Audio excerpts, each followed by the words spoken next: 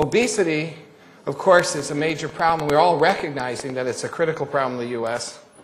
But what, uh, when I take on a problem, the way I address it is usually to try to go to, to try to understand the origins of when obesity began. Many people think that obesity is a recent event, that this marked increase in obesity is something of the last 20 years. But if you actually go into the literature, you can show that obesity began in the 1800s. One second here.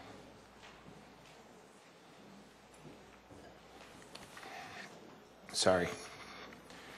Eight, you can show that in the United States, that obesity began in the 1800s. It also began uh, in 1880. For example, in 1860, the prevalence of, of a BMI of 30 or more for 50-year-old men was 1.6%. It had tripled by 1900, and you can see that um, it it, there's a dramatic increase uh, that's occurred since then.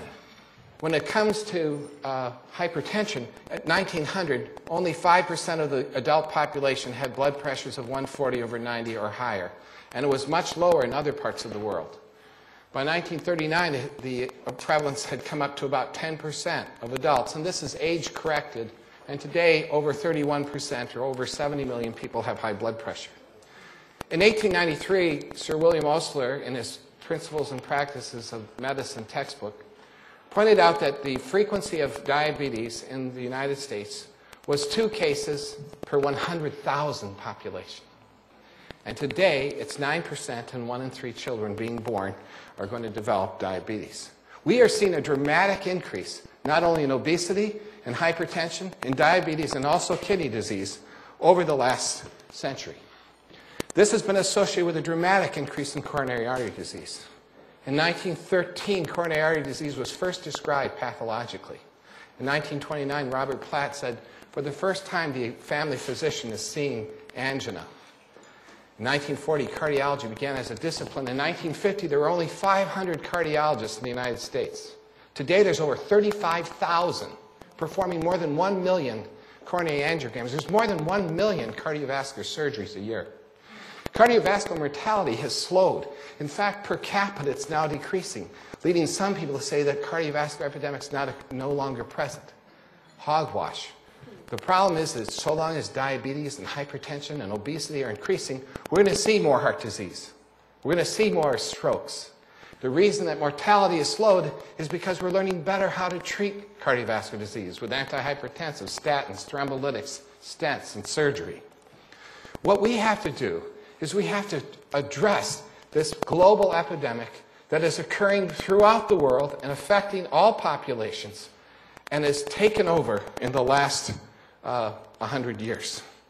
It's not just affected the United States, and it's not just, it's affected all populations, especially indigenous populations. The Pima Indian, the Maori Indian, the Australian Aborigine, the Native American, they were all normotensive with almost no diabetes, no uh, obesity before the Western culture was introduced. This is very well documented.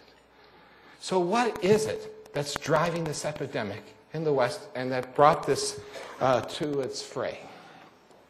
Well, the first, a lot of people thought that it was just eating too much and exercising too little. But back in the 1950s, the first major breakthrough was by a guy named Ancel Keys, a nutritionist from Minnesota, who suggested that perhaps there's something in the diet some specific food in the diet that could be causing obesity. He said, you know, in atherosclerotic disease, you pull out these big, rich, fatty cholesterol plaques. It must be cholesterol, it must be saturated fat. And when he looked, he found that there was a direct relationship in different countries between the saturated fat intake and the frequency of coronary artery disease. He made a compelling case in the 1950s that high fat diets were the cause of obesity were the cause of cardiovascular disease. And every society agreed with him. And so the low fat diet became the primary way to treat obesity and the tr- primary way to prevent heart disease. There was only one problem. The Women's Health Initiative, among other many studies, has shown that low fat diets don't protect against cardiovascular disease. Here, low fat diet versus controlled diet, in the Women's Health Initiative on heart attacks and strokes. Do you see a difference? You see one line, don't you? There was no effect of low-fat diets on preventing cardiovascular disease. Low-fat diets do work briefly for weight loss, but they don't, can't be sustained.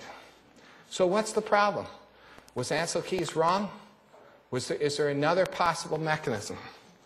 Well, back in the 1960s, there was another nutritionist based in London named John Yudkin.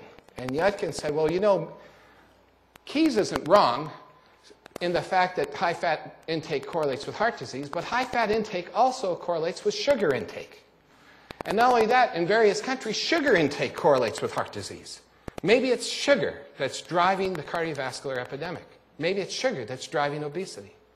But he wasn't a very good orator, and when he would get up in front and debate uh, Ancel Keys, he usually lost. And, and so the sugar hypothesis more or less fell into uh, oblivion.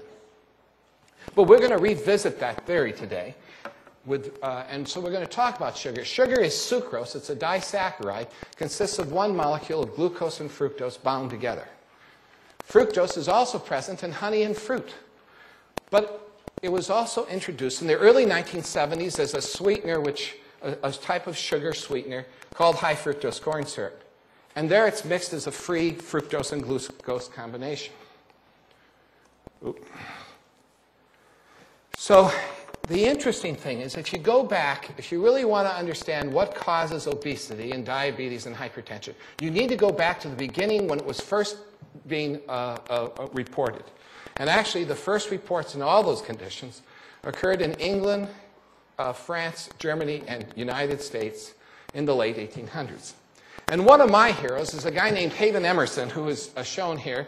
He was a New York City Public Health Commissioner and the Director of Public Health at Columbia, one of the very first epidemiologists.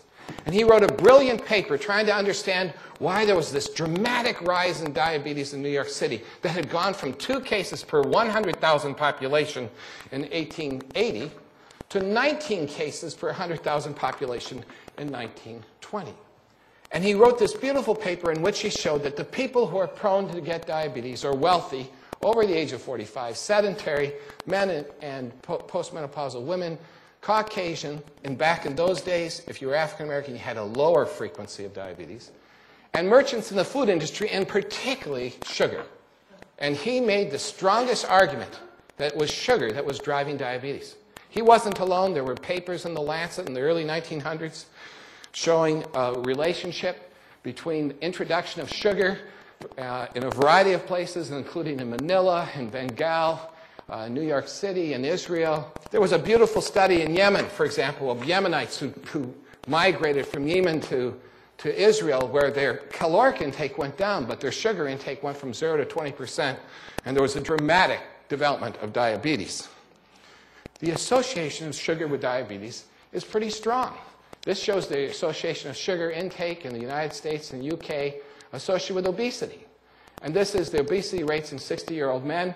You can see here that uh, sugar used to be extremely expensive. There were only four pounds of sugar intake per year. That was the average consumption.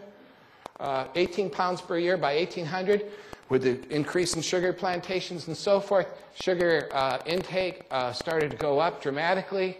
Uh, when the sugar tax was removed, it went up way up and it dropped during the world wars, as did obesity. But you can see that there's a nice interaction. This is the relationship of diabetes to sugar intake. Here's the prevalence of diabetes. There's a, known to be a 10 to 15 year delay between the onset of sugar intake and diabetes. And we may be seeing that here, but you can see that there's this dramatic relationship. Today, Americans are consuming over 56 gallons of, 56 gallons of soft drinks, 152 pounds of caloric sweeteners. This is a 70% increase in soft drink consumption since 1977. Approximately 10 to 12% of all calories are coming from soft drinks. Some kids are eating 20% to 40% of their diet is sugar. The top 20 percentile, for example, are eating 40% of their diet is sugar, eighth graders.